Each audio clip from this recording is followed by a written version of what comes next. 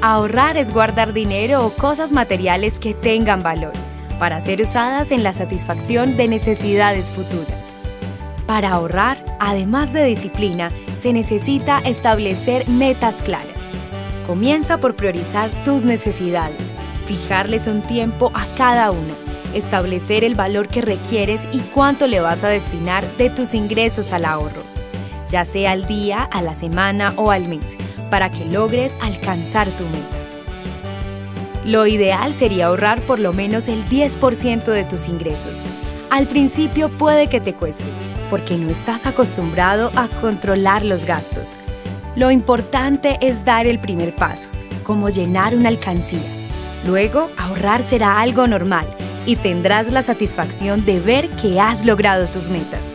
El secreto está en no pensar en el ahorro como un sacrificio, sino en asumirlo como una inversión que a futuro le permitirá tener mucho más dinero para lo que es realmente importante.